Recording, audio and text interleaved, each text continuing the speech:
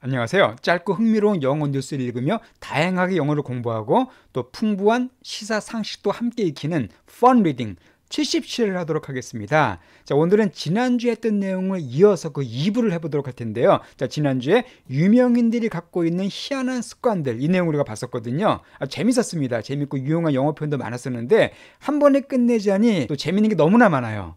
그래서 한 번 더, 두 번째 그 시간을 갖도록 하겠습니다. 자, 오늘도 지난번보다 더 재미있는 또 더 유용한 영어 표현들이 많이 나오니까 잘 들으시기 바라고요. 표지를 보니까 일론 머스크가 나오네요. 테슬라 회장인 일론 머스크가 나오는데 이 사람도 등장합니다. 이 사람도 아주 희한한 그런 습관을 갖고 있는데 그것이 무엇인가? 또 오늘도 다섯 명의 그 유명인들이 갖고 있는 재미있는 습관들을 알아보면서요. 특히 오늘은 이 공포 혹은 습관과 관계된 영어 표현들이 많이 등장하거든요. 자, 이런 영어들을 같이 살펴보도록 하겠습니다. 그럼 가장 먼저 등장할 유명인은 누굴까요?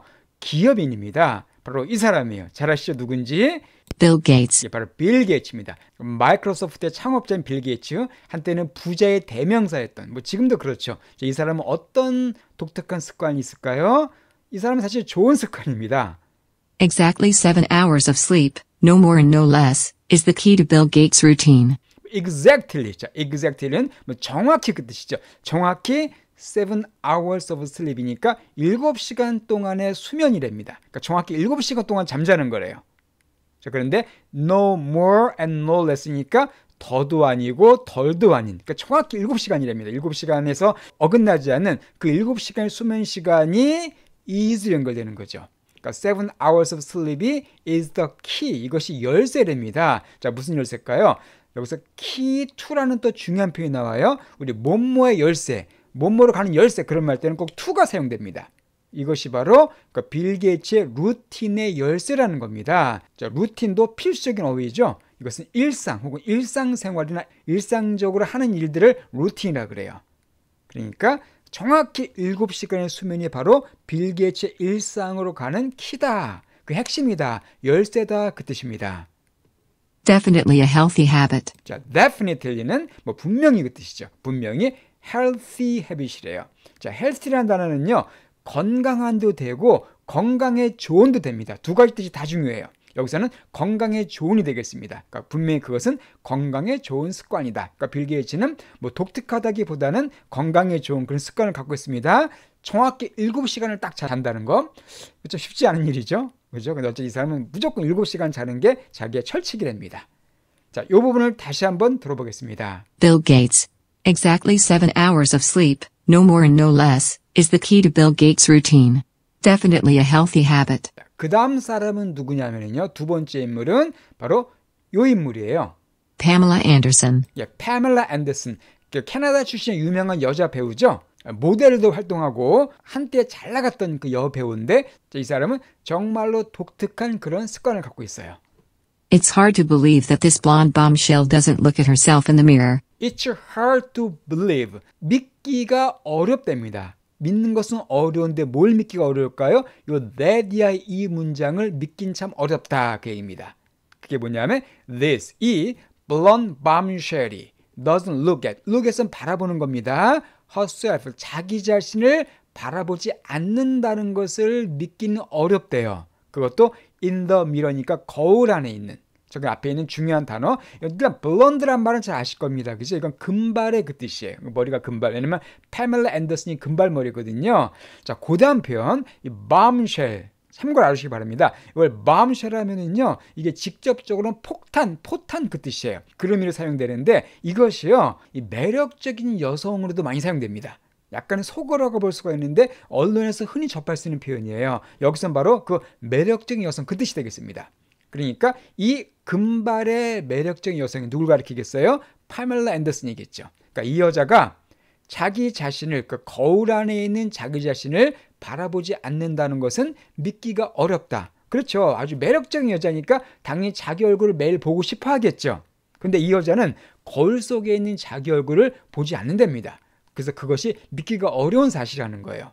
왜 그럼 거울 속에 있는 자기 자신을 보지 않을까요? 이렇게 설명하고 있습니다. However, she's known to have isoptrophobia, which is a persistent fear of looking at reflective objects. 그러나 그러나 she's known to 여기서 또 중요한 수고가 나와 있죠. be known to가 되면은 뭐뭐로 알려져 있다는 뜻입니다. 그러니까 뭐뭐한 것으로 알려져 있다. 그러니까 그녀는 have 갖고 있는 것으로 알려져 있대요. 자, 뭘 갖고 있는 것으로요? 여기 상당히 어려운 단어가 나왔습니다. 자, 이 단어를 좀 설명드릴게요. isoptrophobia라는 단어인데요. 사실 이 단어 외우실 필요 없습니다. 이런 단어 여러분이 뭐 전문적인 용어이기 때문에 외우실 필요 없고요. 중요한 것은 이 phobia라는 단어는 꼭 알아주셔야 돼요. phobia는 공포증 그 뜻입니다. 그래서 지금 나온 것처럼 자, isoptrophobia가 되면은 거울 공포증 그 뜻이에요. 그러니까 거울을 무서워하는 겁니다. 그러니까 참고로 이건 너무 어려운 단어고 그냥 mirror, 거울이란 mirror를 사용해서 mirror phobia에도 거울 공포증을 쓸 수가 있어요. 자, 이거보다 더 중요한 단어가 바로 acrophobia죠. 자, acro란 단어는 높다는 뜻입니다. 왜 아크로폴리스 그런 말 들어보셨죠? 그래서 acrophobia가 되면 높은 것을 무서워하는 공포증이기 때문에 고소 공포증을 가리킵니다. 또한 hydrophobia가 되면은요. 이 hydro라는 단어가 물이란 뜻이 있거든요. 그래서 수소가 hydrogen이거든요. 그 물을 무서워하는 거기 때문에 공수병을 hydrophobia라 그래요. 자, 이거 phobia는 이것처럼 이렇게 사용되기도 하지만 그냥 아무거나 갖다 붙이면 됩니다. 예를 들어서 woman phobia가 되면 그 여자 공포증이에요. 이런 식으로 갖다 붙이면 되는 단어가 phobia입니다. 어쨌든 eisoptrophobia는 거울 공포증이니까 파멜라 앤더슨이 거울 공포증을 갖고 있는 것으로 알려져 있대요. 그래서 코마 위치니까 앞에 있는 문장을 설명해 주는 겁니다. 자, 그 거울 공포증이 뭐냐 하면은 바로 persistent fear래요. 자, persistent란 단어는 지속적인 혹은 끈질긴 그 뜻입니다. fear는 공포잖아요. 그러니까 이것이 지속적인 공포래요. 뭐에 대한 공포일까요? of looking at 바라보는 거에 대한 공포랍니다. 뭘 바라보냐면 reflective object죠. 자, 일단 object는 사물이잖아요. 그러니까 reflective는 반사되는 그 뜻이에요. 그 reflection이 반사고 reflective가 되면 형용사입니다. 혹은 반사되는 반사하는. 그러니까 반사되는 물체, 거울 같은 거죠. 그러니까 그것을 바라보는 것을 아주 지속적으로 공포감을 느끼는 거울 공포증을 갖고 있는 것으로 알려져 있다는 겁니다. 자, 마지막 문장 보겠습니다. She also never watches herself on TV. 그녀는 또한 결코 TV에 있는 자기 자신을 보지 않는데요. 그러니까 거울도 못 볼 뿐만 아니라 TV에 나오는 모습도 못 본다는 겁니다. 정말 독특한 질환이죠. 보통 사람들은 TV에 나오면 좋아할 텐데, 그죠? 대부분의 사람들은 파밀라 앤더스는 TV에 나오는 자, 모습도 못 본답니다. 예, 요 부분도 다시 한번 들어보시고 특히 이 포비아 정말 중요하니까 알아주시기 바랍니다. Pamela Anderson. It's hard to believe that this blonde bombshell doesn't look at herself in the mirror.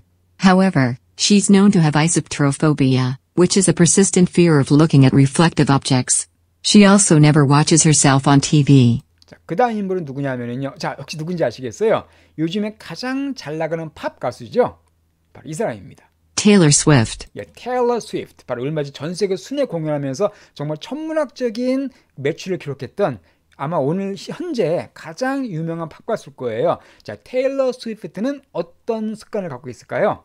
In a recent interview, the singer revealed that she doesn't actively wash her legs in the shower because she shaves them. 이건 좀 뭐 사선거로 볼 수가 있는데요. 자, in a recent interview. 자, recent이란 단어는 최근의 그 뜻이니까 한 최근의 인터뷰에서 인터뷰에서 the singer는 그 가수니까 테일러 스위프트를 가리키는 겁니다. 그 테일러 스위프트가 reveal 했대요. 저 reveal이라는 단어는 드러내다, 나타내다는 뜻이죠. 그러니까 드러냈대요. 뭘 드러냈습니까? 요 that이야 이 사실을 드러냈다는 거예요. 그녀가 doesn't 하지 않는다는 것을 자, activelly하게 그녀의 leg, 다리를 wash, 씻지 않는다는 사실을 드러냈대요. 자, activelly라는 단어는 뭐 말 그대로 적극적으로 그 뜻이죠. 이 반대가 passive입니다. active의 반대가 passive예요. 이것은 수동적으로 소극적으로 그 뜻이니까 actively. 그러니까 적극적으로 다리를 잘 닦지 않는데요. 어디에서 the shower. 그러니까 샤워할 때. 샤워하는 도중에 이 다리를 잘 닦지 않는답니다. 뭐 별게 다 별습관 닦고 그러는데 그 이유가 뭐냐면 아주 합리적인 이유예요. because 왜냐하면 그녀가 그것들을 쉐이브하기 때문에 여기서 them은 바로 legs를 가리키겠죠. 그 다리들을 shave, 뭐 shave는 면도하는 거잖아요. 그 다리의 면도, 그 다리 털을 잘 깎기 때문에 뭐 굳이 다리를 잘 씻지 않는다. 그게 바로 테일러 스위프트가 갖고 있는 한 가지 습관이랍니다. 다시 한번 들어보도록 하죠. Taylor Swift. In a recent interview, the singer revealed that she doesn't actively wash her legs in the shower because she shaves them. 그 다음에 이제 네 번째 인물인데요.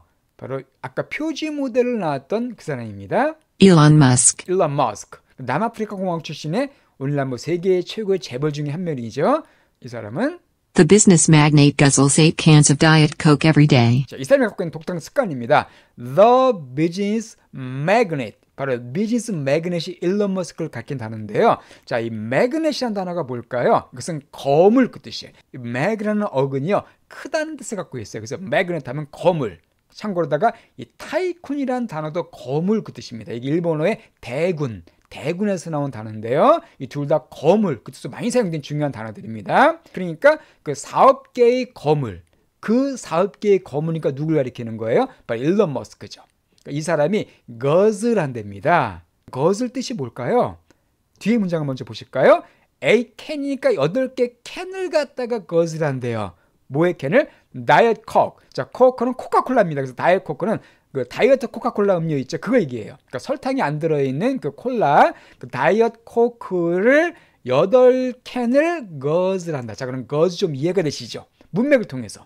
예, guzzle이라는 동사는 뭐냐면은요, 마구 마시다 그 뜻입니다. 그러니까 마시긴 마시되, 그 drink는 그냥 마시는 거고, guzzle은 좀 약간 벌컥벌컥 마신다. 그런 의미가 강해요. 참고로다가, 이 가스 거즈라는 단어 다루시면 좋습니다. 이 가스는 가솔린 휘발유 가리키거든요. 그 휘발유를 마구 먹는 차 이해가 되시죠? 그래서 가스 거슬러는 기름 많이 먹는 그런 큰 차를 가리킵니다.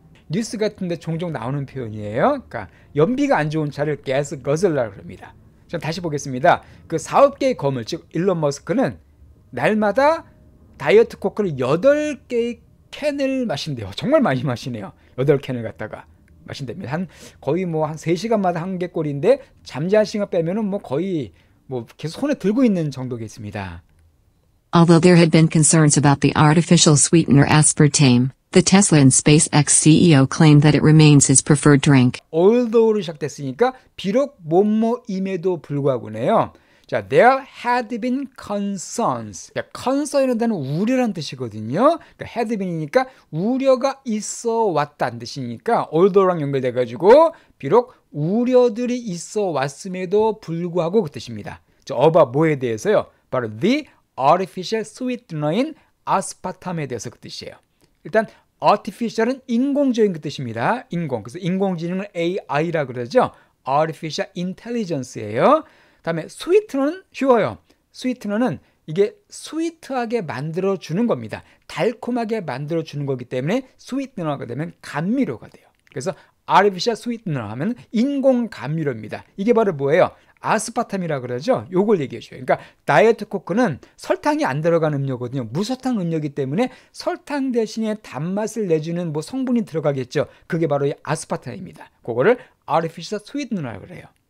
그러니까 다시 보시면은 자, 비록 그 인공 감미료인 아스파탐에 대해서 우려들이 있어 왔음에도 불구하고 그러니까 이 아스파탐인이 몸에 해롭다 어쩌다 그런 말이 많았거든요. 뭐 유해하다 무해하다 말이 많습니다. 바로 그걸 얘기하는 겁니다. 그러니까 이건 다이어트 코크에 들어있는 이것이 우려가 있음에도 불구하고 불구하고 the Tesla and SpaceX CEO는 바로 앨런 머스크죠. 그 테슬라와 스페이스X의 CEO인 그 머스크는 claimed 주장했다는 거예요. 뭘 주장합니까? 데디아를. 자, 그것이 그것은 바로 다이어트 코크를 가리켜요. 그것이 remain한다라고 주장한다는 겁니다. 자, remain은 남아 있는 거죠. 자, 뭘로 남아 있다고? 그의 그의 preferred drink로 남아 있다라고 말한다는 겁니다. 자, prefer는 더 좋아하다는 뜻이니까 preferred가 되니까 선호되는 해석하시면 되겠어요. ed가 붙었죠. 그러니까 수동으로 해석하시면 됩니다. 그러니까 그거에 선호되는 음료수로 남아 있다라고 이 테슬라와 스페이스X의 CEO인 일론 머스크가 주장했다는 거예요. 그러니까 뭐 인공 감미료가 해롭다 이런 우려가 있어도 뭐 나는 괜찮아 나 이게 좋아라고 일론 머스크가 말한다는 거죠. 뭐 다이어트 콕 저도 가끔 마시지만 어쨌든 일론 머스크는 정말 좋아하네요. 예, 다시 한번 이 부분 들어보겠습니다. Elon Musk. The business magnate guzzles eight cans of Diet Coke every day. Although there had been concerns about the artificial sweetener aspartame, the Tesla and SpaceX CEO claimed that it remains his preferred drink. 자, 그럼 마지막 인물입니다. 자, 마지막 다섯 번째 인물은 누굴까요? 바로 유명한 축구 선수네요. David Beckham. 잘 아시죠? 영국 출신의 데이브 베컴, 축구 스타 데이브 베컴. 이 사람도 아주 독특한 그런 습관이 있습니다. 뭐 습관이라보다는 약간 좀 뭐 강박관념일까요? 어쨌든 자 들어보세요. Beckham has a type of OCD where everything has to be in even numbers or in pairs. 자, 베컴은 has 갖고 있는데 a type of니까 뭐 일종의 한 형태, 한 가지 형태의 OCD란 걸 갖고 있대요. 그때 이게 기본 문장입니다. 자, OCD가 뭐냐 하면은요. 이것은 뭐 강박관념 장애 정도로 보시면 됩니다. 이게 obsessive compulsive disorder 이거 약자인데요. 이 disorder란 단어가 장애란 뜻이거든요.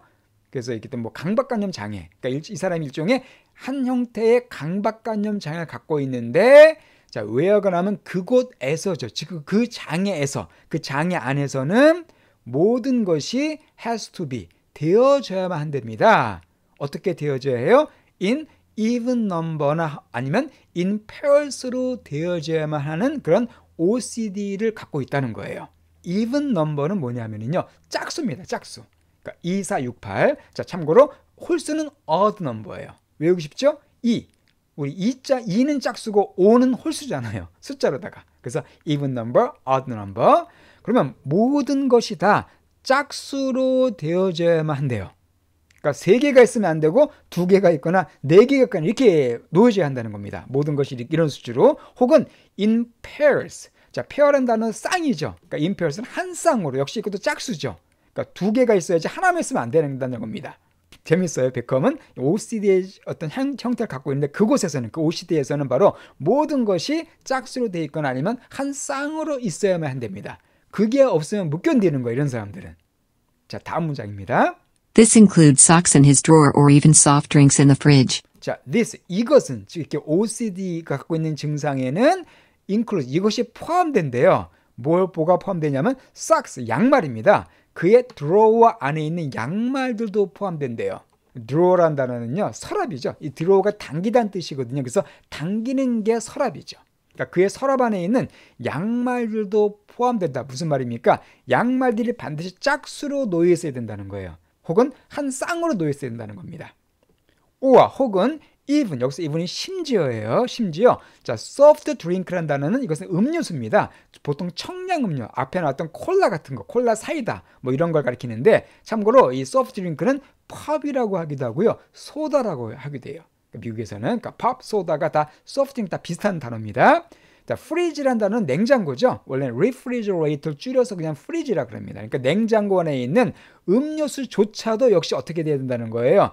짝수로 놓여 있거나 한 쌍이 있어야 된답니다. 그러니까 음료수가 세 개가 있으면 안 돼요. 그 콜라 그 캔이 세 개가 놓여 있으면 안 되고 뭐 두 개나 네 개나 여섯 개가 놓여 있어야 된다는 거죠. 예, 이것도 참 쉽지 않은 그런 일종의 강박 장애인데 데이비드 베컴이 바로 그걸 갖고 있다고 얘기하고 있습니다. 이 부분도 다시 한번 들어보겠습니다. David Beckham. Beckham has a type of OCD where everything has to be in even numbers or in pairs. This includes socks in his drawer or even soft drinks in the fridge. 예, 오늘도 이렇게 지난 시간에 이어서 독특한 습관을 갖고 있는 유명인들 이거 우리가 살펴봤고요. 뭐 내용도 재밌지만은 항상 말씀드리지만은 영어가 중요하니까 지금 설명했던 영어 표현들 또 이런 걸 잘 들으시면서 듣기까지 같이 잘 여러 차례 공부해 주시기 바랍니다. 예, 그러면은 처음부터 끝까지 다시 한번 쫙 들어보시고요. 오늘 내용을 마치도록 하겠습니다. Bill Gates. Exactly seven hours of sleep, no more and no less, is the key to Bill Gates' routine. Definitely a healthy habit. Pamela Anderson.